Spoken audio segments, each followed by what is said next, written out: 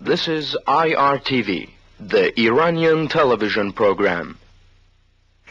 سلام به شما دوستان عزیز و همینطور شما همراهان و بینندگان همیشگی ما در شبکه اینترنت امیدوارم که همگی خوب و خوش باشید شنبه اول ماه می روز جهانی کارگر بود و به همین مناسبت در اکثر نقاط دنیا از برلین و مسکو و آتن گرفته تا چین و هند و پاکستان کارگران دست به تشکیل تجمعات و تظاهرات زدند.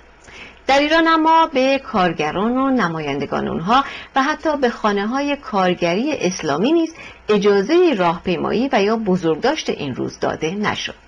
و این در حالی است که بسیاری از نمایندگان کارگران از جمله کارگران اتوبوسرانی مثل آقای اوسانلو و یا نماینده کارگران کارخانه نیشکر هفتپه و بسیاری دیگر همچنان بدون وکیل مدافع یا تفهیم جرم در زندان به سر می‌برند. اما به رغم همه بگیر و ببندها و با وجود فضای امنیتی شدیدی که در روز شنبه در تهران و شهرستانها حکم فرما بود کارگران ایران توانستند تظاهرات متعددی در مقابل وزارت کار و همینطور خانه های کارگری شهرستانها صورت دهند که با شعارهای ضد رژیم همراه بود.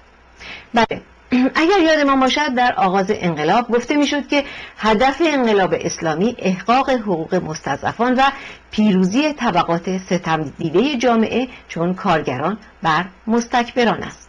آیت الله خمینی هم در اولین روز کارگر پس از انقلاب گفتند که خدا خودش کارگر بوده. پس چرا هنوز پس از گذشت سی سال از انقلاب کارگران بیچاره ایرانی هنوز در بدترین شرایط کاری به سر می‌برند و پایین ترین میزان دستمزد رو می‌گیرند؟ سوالی است که باید متولیان جمهوری اسلامی پاسخگوی اون باشند به خصوص که پس از مصادره انقلابی کارخانجات و انتقال مالکیت خصوصی آنها از بخش خصوصی به دولت که در حال حاضر هم اکثرا به تملک سپاه پاسداران درآمده دولت به صورت کارفرمای بزرگ کارگران درآمده و بنابراین مستقیما مسئول شرایط زندگی اونها خواهد و اما هفته گذشته در این سو چند تن از کارگردانان معتبر و چهره های سرشناس هالیوود چون فرانسیس فورد کوپولا و استیون سپیلبرگ طی نامه سرگشاده به جمهوری اسلامی خواهان آزادی فوری جعفر پناهی سینماگر برجسته ایرانی شدند که همونطوری که می‌دونید متاسفانه جعفر پناهی از چهار ماه پیش تا کنون به جرم واهی ساختن فیلم علیه نظام در زندان انفرادی به سر می‌بره و ما در این سو باز هم خبر خوبی داشتیم و اون مربوط بود به خانم شهرنوش پارسیپور داستان نویس پرتوان ایرانی مقیم سان فرانسیسکو که از سوی دانشگاه معتبر براون در کنار شخصیت هایی چون نلسون ماندلا رئیس جمهور پیشین آفریقای جنوبی و هفتن دیگر به خاطر ارائه خدمات ارزنده به مردم موفق به درجه دکترای افتخاری از این دانشگاه معتبر شد. اجازه بدید با هم به دیدن گزیده خبرهای این هفته ایران بنشید